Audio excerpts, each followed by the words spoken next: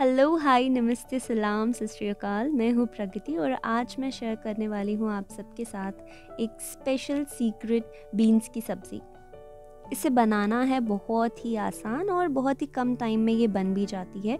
और इसे हर एक एज ग्रुप के लोग पसंद करेंगे। आई I मीन mean, बूढ़े लोग भी पसंद करेंगे और बच्चे भी इसे पसंद करेंगे बिकॉज़ नॉर्मली क्या होता है बच्चे बीन्स की सब्ज़ी वगैरह ये सब खाना इतना पसंद नहीं करते बट ये बहुत ही टेस्टी बनती है सो इसे हर एज ग्रुप के लोग पसंद करेंगे। और इसमें ज़्यादा तेल मसालों का यूज़ नहीं होता है ज़्यादा तेल मसाला ऐड नहीं होता है सो इसके वजह से ये बहुत हेल्दी भी है। तो चलिए देखते हैं कि इसे कैसे बनाना है। सो so, यहाँ पे मैंने बीन्स लिया है ये 250 ग्राम बीन्स है जिसे मैंने बहुत फाइन शॉपिंग करी है। बहुत बारीक कट किया है मैंने इसे। ये नॉर्मल साइज़ अनियन है इसे भी मैंने कट कर लिया है। ये दो हरी मिर्च है जिसे मैंने बहुत बारीक कट कर लिया है। ये अदरक है इसे भी मैंने बहुत बारीक कट करा है। और ये कॉरियन लीफ है मेरे पास बहुत फ्रेश कॉरियन लीफ नहीं थी सो जो थी मैंने उसे कट कर लिया है। ऑयल है ये। मैं यहाँ पे मस्टर्ड ऑयल यूज़ कर रही हूँ। आप अपने हिसाब से जो आप ऑयल यूज़ कर सक, करते हैं, आप उसे यूज़ करें। ये नमक है, आप अपने टेस्ट के हिसाब से नमक ले लें और और ये काली मिर्च है। तो चलिए स्टार्ट करते हैं। मैंने यहाँ पे एक पैन ले लिया है। सो यहाँ पे मैंने पैन को गर्म कर लिया है। अब हम इसमें डालेंगे ऑयल मैं यहाँ पे सरसों का तेल यूज़ कर रही हूँ मस्टर्ड ऑयल आप जो ऑयल यूज़ करते हैं, आप वो यूज़ करें। सो मैंने यहाँ पे दो स्पून मस्टर्ड ऑयल यूज़ करा है। तेल को गर्म होने देंगे अच्छे से और फिर उसमें हम ऐड करेंगे धनिया की पत्ती। मैं सबसे पहले इसमें ऐड करूँगी धनिया की पत्ती। So, ये मैंने धनिया की पत्ती ऐड कर मैंने धनिया की पत्ती ऐड कर दिया और अब मैं तेल में डालूँगी कट किए हुए चॉप किए हुए जिंजर अदरक। और अब मैं इसमें ऐड कर रही हूँ कटी हुई हरी मिर्च।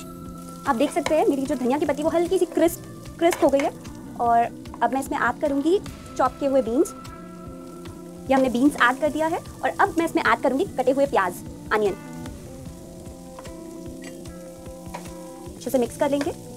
अब मैं इसमें ऐड करूँगी नमक, जो कि आप अपने टेस्ट के हिसाब से ऐड कर सकते हैं। यहाँ पे मैंने नमक ऐड कर दिया और अब मैं ऐड करूँगी काली मिर्च। सो यहाँ पे मैंने काली मिर्च ऐड कर दी है, हम इसे अच्छे से चला देंगे मिक्स कर देंगे। इस बीन्स की सब्ज़ी में आपको ना ही हल्दी डालनी है और ना ही कोई मसाला डालना है, सिर्फ़ नमक और काली मिर्च, सिर्फ़ यही पड़ता है और कुछ भी नहीं पड़ता है इसमें। और ये बहुत टेस्टी बनती है। आई होप आप भी इसे बहुत इन्जॉय करें बिकॉज़ मेरी फैमिली में तो सारे लोग बहुत पसंद करते हैं इस सब्ज़ी को।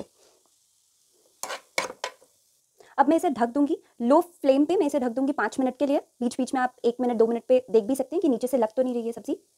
हम यहाँ पे इसे ढक रहे हैं। मैं पाँच मिनट के लिए इसे ढक के रख रही हूँ। सो so, पाँच मिनट हो चुके हैं। देख लेते हैं हमारी सब्ज़ी कितनी पक चुकी है।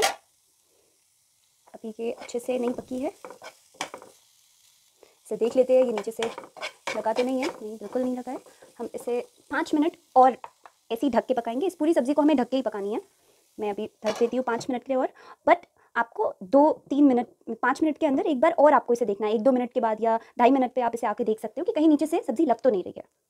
सो so, पाँच मिनट हो चुके हैं और मैं अब देखती हूँ हाँ पूरी तरीके से मेरी जो बीन्स है वो पक चुकी है।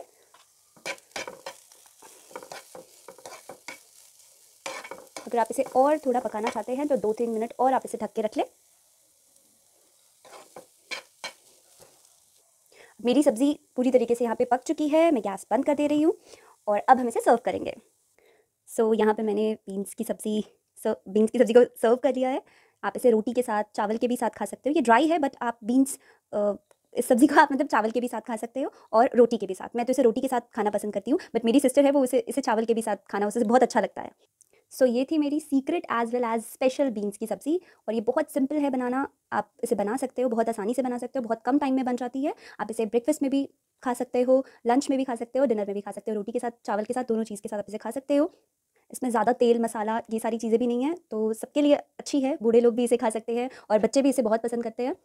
सो आप भी इसे ट्राई करो बनाओ बहुत सिंपल है बनाना। ओके सो अगर आपको और भी ऐसी वीडियोज़ चाहिए सो कॉमेंट करके बताओ।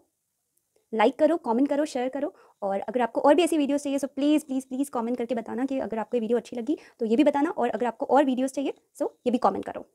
सो मैं तो चलिए अब इस सीक्रेट स्पेशल बीन्स की सब्ज़ी को खाने के लिए और आप भी इसे ट्राई करो, बनाओ, खाओ और इन्जॉय करो। Do like comment and share and subscribe to my channel thank you